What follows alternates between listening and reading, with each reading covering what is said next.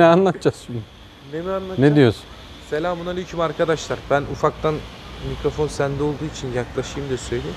Tamam. Abi bizden şey istiyorlar. Ee, Polo 1-2 TDI alınır mı alınmaz mı? Evet. Özellikleri nedir? Daha önce biz bu videoyu çekecektik ama çekemedik. Tamam. Şimdi sen uzun süredir Polo kullanıyorsun ya. Evet. O yüzden senin anlatmanı istiyorum. Tamam. Mevzu bu işte. Ne tamam. Şimdi benim kullandığım araba 2013 model Polo 1.2 TDI Blue Motion CFW kodlu bir motor 3 silindirli bir motorumuz. 1.2 1200 litre santimetre küp hacmine sahip. Ee, şimdi sadece şu an konumuz Polo mu olacak? Polo. Polo olacak. 1.2. Evet Polo 1.2. Şöyle söyleyeyim 8 yıldan beri kullanıyorum ve aktif kullanıyorum. Günlük en kötü 300 kilometre yolum var. İstersen seni şöyle alayım. Direkt özelliklerini söylüyorum. Yani özellik dediğimde yapıp yapmadıklarımı söylüyorum. Arabaya hiçbir şey yapmadım. Bütün her şey orijinal. EGR'si aktif, partikülü aktif. Yani eee, yazılımı yok. Tamamen orijinal. Her şey orijinal. Ve araba hala sıfır kondisyonunda kullanıyorum. Z-Rotlarını, fabrikanın taktığı Z-Rotlarını geçen yıl ilk defa değiştirdim. Baskı balatasını yeni değiştirdim. Bu tabii benim arabamın genel söylediğim koşulları. E ben bu yaşa kadar nasıl sorunsuz kullandım? Veya neden bunu kullandık? Neden satmadık? Onlardan değinelim. Tabii bu mazot fiyatları konusunda son 2-3 yıldan beri yani son 2 yıldan beri bu fiyatlarda ama onun öncesinde herkesin bildiği 3,5, 3, 2,5, 2,49'a, 2,45'e yeri geldiği zaman alıp depomu fulllediğimde maksimum 250-300 lira para verdiğim bir arabaydı. Ve bununla size abartmadan söylüyorum 110 kruz kontrol veya 120'ye de atabilirsiniz. Kruz kontrolle minimum 1200 kilometre uzun yol gidiyordum. Yani yakıt tasarrufunu buradan anlayın. Zaten o hızlarda RPM 2000 civarı oluyor. Ee, onun da zaten en az yakma özelliğinin sebebi arabanın şanzıman vites aralığı çok güçlü olması. Yani çok uzun olması. O da neye dayanıyor? Motorun beygiri küçük ama torku yüksek. Yani şunu zannetmeyin. Ya bu araba 75 beygir ama rampada bayılır mı? Öyle bir şey yok. Ben 130'a da kur uzatıp ben bir tane rampada 129 dediğini görmedim bu arabanın. Yani ne verirsen o gidiyor bu arabada. Genel itibariyle zaten tanıdığınız, bildiğiniz arabalar. Polo 6R kasa bunlar. Şöyle Blue Motion'da ne ekstraları var diğer trendlere göre? Niye fiyat farkı var? Sahibinden de gidiyorsunuz. Zaten Blue Motion şöyle liste fiyatında e, listelerde Blue Motion e, şeyleri çok az. Yani satılık.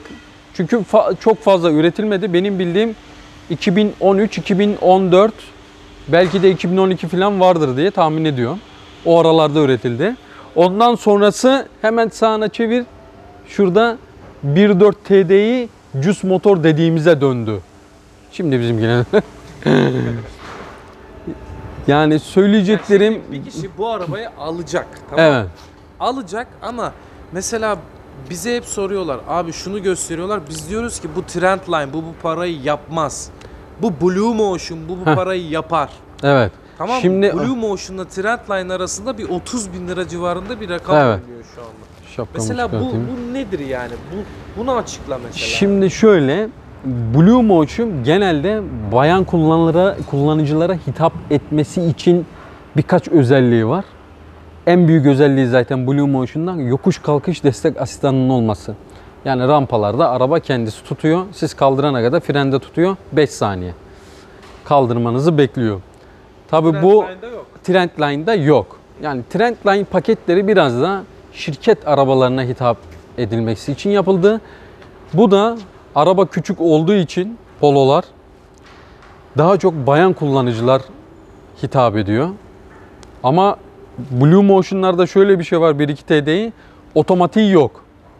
Otomatiği olmadığı için insanlar e, tedirgin oluyor. Ya kullanabilir miyiz, kullanamaz mıyız? Ama dediğim gibi yokuş kalkış destek asistanı olduğu için bayan kullanıcılar da çok rahat kullanıyor.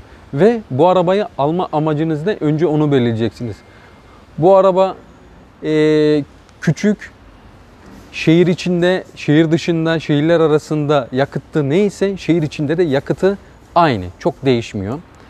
Bir önceki nesil bizim bu PD motor 3 silindirlere göre CFW Common Rail sistemli bir motor olduğu için sessiz. Yani gerçekten çalışması daha çok sessiz. Yani şu, şununla kıyaslayayım. Bir 1.6 TD'yi hemen şuradaki Jetta'yı şu kasaları göster Jay motorları. Bunlardaki sesle ben Polo'yu yanına koyuyorum. Polo %20 %30 daha sessiz. İç hacmine gelecek olursak abartmadan söylüyorum.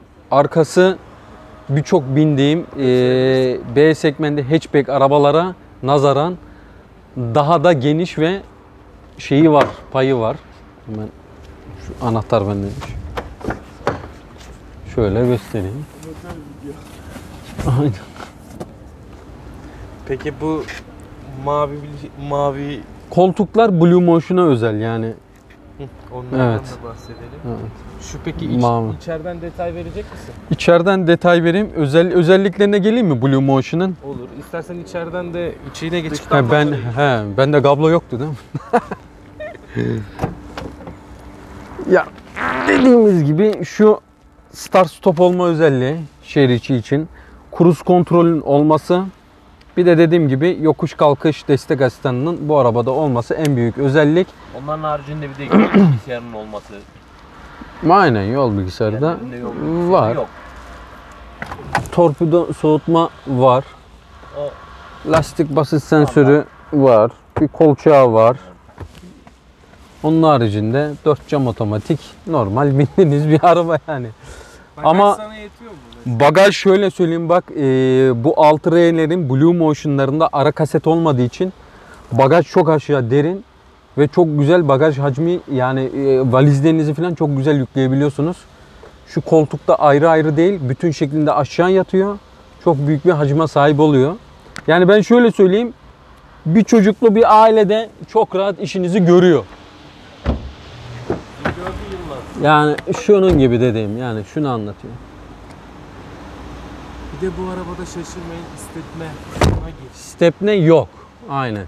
Dediği gibi. Bu arabada Elektrikli pompa var ve ilacı var. Elektrikli pompası eğer alacaksanız kesinlikle sorun. Elektrikli pompası var mı yok mu diye çok pahalı çünkü. Kesinlikle üzerinde olsun. İlacı da zaten orijinal Volkswagen'in böyle tüpünde geliyor. O da ilacı da içinde duruyor. ilacın tarihi var mı? İlacın tarihi var üzerinde. Chef Life ömrü falan yazıyor. Ama şöyle söyleyeyim. Ee, size Ana bir şey düştü altımdan.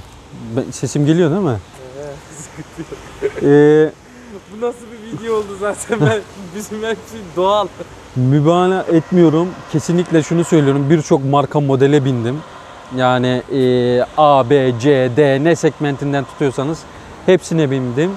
Tek satmadığımız araba budur. Hiçbir zaman satmayı da düşünmedik. Yani e, ha gel.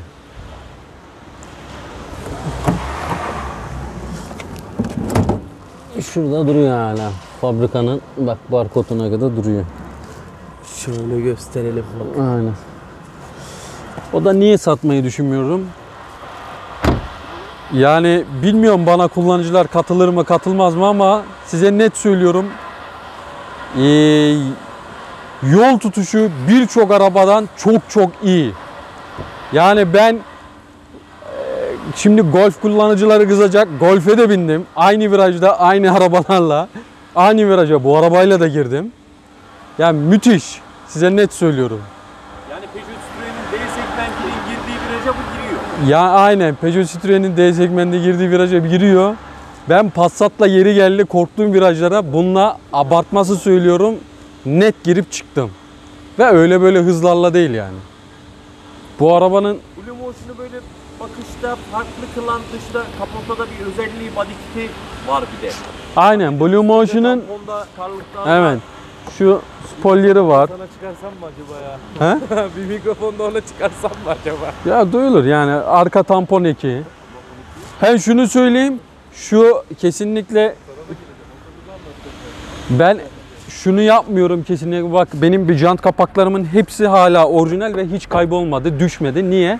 Ben her kış, her yaz lastikleri change ettiriyorum.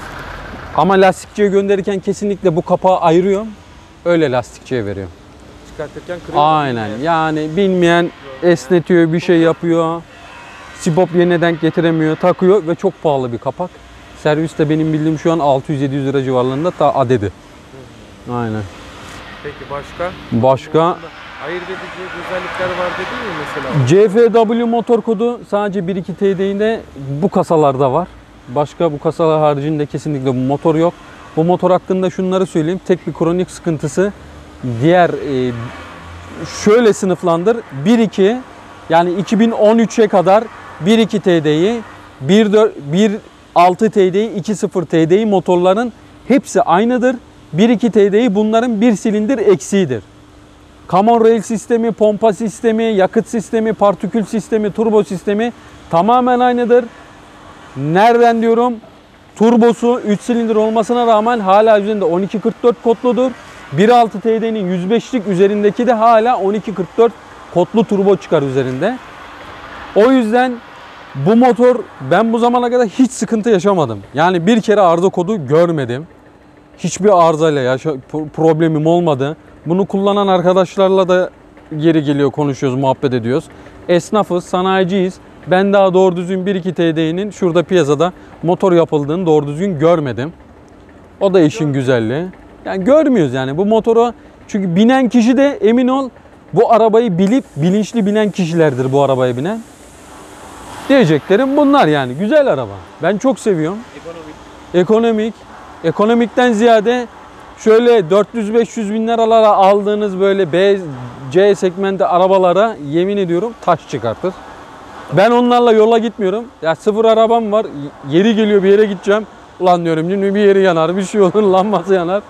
ben yine bildiğim arabayla gideyim de rezil olmayayım diyorum.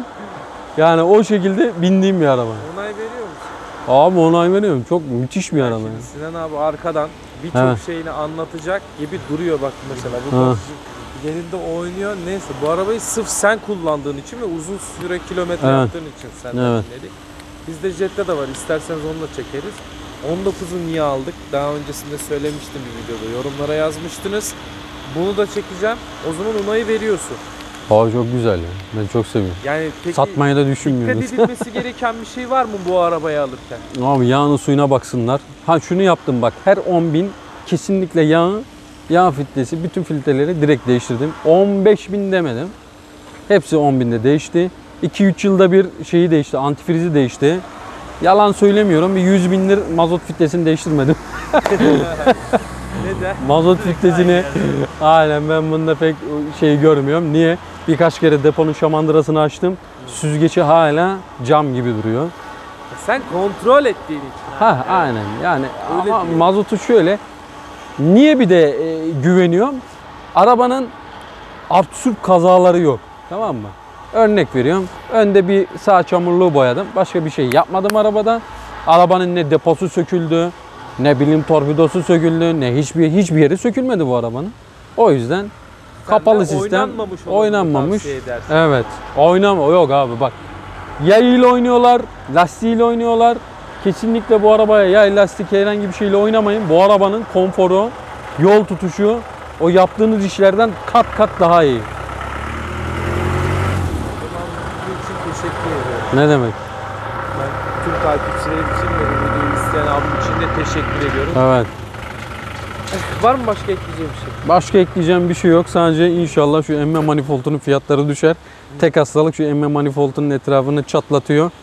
Arada böyle bir yağ... Bak dediğin hava kaçırmıyor sadece. Yok kaçırmıyor. Yani yağ sızacak şekilde böyle telledecek şekilde ufak esneme oluyor plastik şeylerinde. O var. O da manifoldu çok pahalı. Değiştirmek de işimize gelmiyor. Birkaç kere söktüm etrafını plastik kaynak falan döndüm. Yemiyor.